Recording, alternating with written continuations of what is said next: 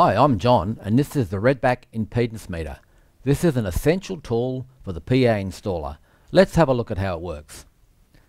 To test a 100 volt PA system you cannot use a normal multimeter.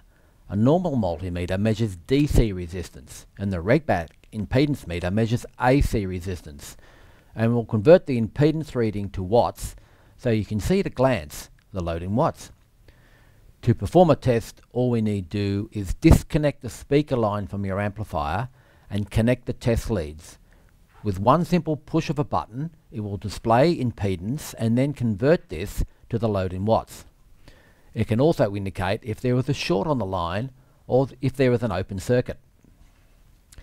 In system check mode, a 1 kHz tone is produced for 20, 60 or unlimited minutes. This can be changed in the menu. This will allow the installer to inspect the line to check each speaker connected for correct operation.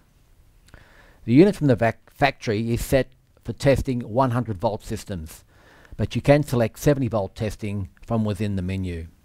Complete with a USB lead to keep the inbuilt lithium charged and ready when required. It can be safely carried in the supplied carry bag.